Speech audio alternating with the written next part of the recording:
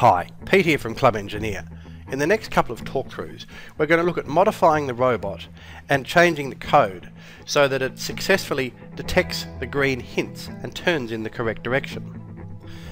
But first, let's have a look at the finished robot. We'll be modifying the robot with two light sensors and changing the code so the two light sensors will successfully detect the left or right turn hints. The robot will detect the left hand turn hint. It will pass successfully over all the simple tiles.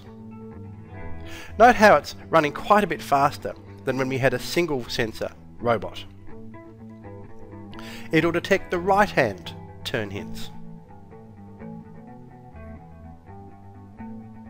When we're done, not only will the robot successfully detect the left or right hand turn hints, but it'll be much much faster on the line following tiles, which will give us a competitive edge in RoboCup. So we're going to begin by writing a single sensor line following program as a bit of a refresher. But first of all, let's just study our robot one more time. This robot has one light sensor plugged into port 1. It has its left hand motor plugged into port C and it has its right hand motor plugged into port A. So we'll start by writing a single sensor line following program using a switch block as main part of the logic. So create a new program, I'm going to save it, I'm going to call it single sensor and we'll make this one follow the left hand side of the line. So single sensor hyphen left. And we click save. We'll start with a, uh, a loop block and inside the loop block we'll put a switch block. We'll change the switch block to switch based on the value of light sensor 1. Now, studying our robot, when light sensor 1 sees white or executes this part of the code up here, we want to turn right by running motor C and stopping motor A.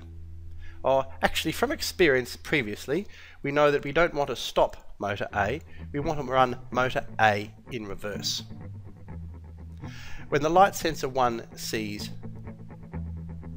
black we want to turn right by running motor A and stopping or running motor C very slightly in reverse.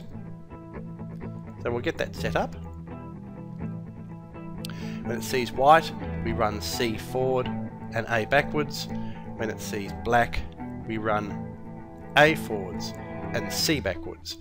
One more thing to change, notice how these are all set to run for one revolution, so we have to change that to unlimited. And we also know from experience that running at the default power of 75 is too fast, so we'll change that to 60 when we're running forward, and 60 when we're running forward, and I have a guess at 20 when we're running backwards.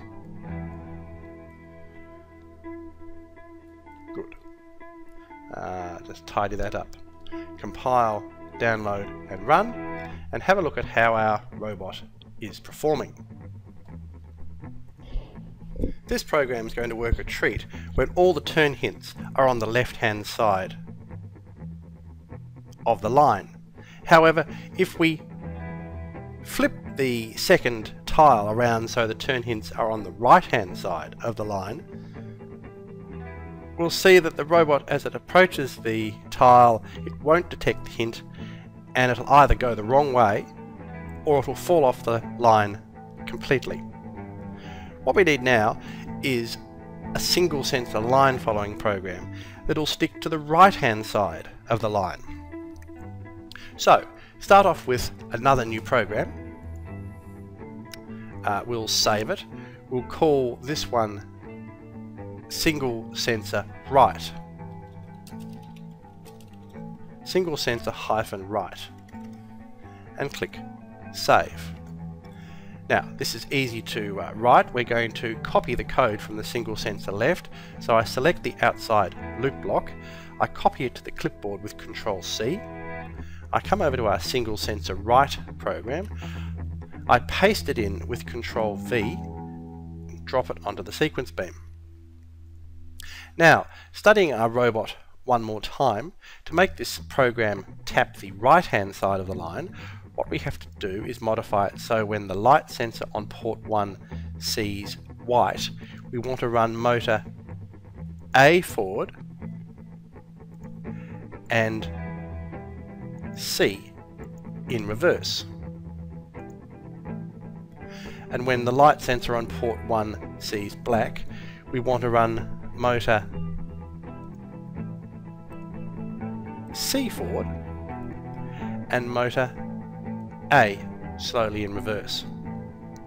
So we compile, download and run this program and we can see that it's successfully tapping the right hand side of the line and as it approaches the hint it'll turn correctly in the right hand direction. But once again these programs are both one-trick ponies, as they say.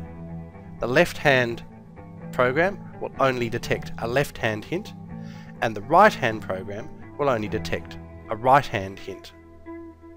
What we need now is two sensors on the robot, with some code that makes a decision as to which of these two programs should execute at any given one time. To get some ideas how to modify your robot for two sensors, you can go to the Club Engineer website, clubengineer.org, slash build hyphen instructions. And scroll down to the third robot on the page, CE Racebot version 01 with two light sensors. Click on that and we'll talk you through how to modify your robot for two sensors. Good luck implementing both the code and modifying your robot for two sensors. The material we're covering in these talkthroughs is hard, and sometimes, in spite of your best effort, you may find that you're stuck. Often, it only takes a small amount of face-to-face -face help to get you back on track.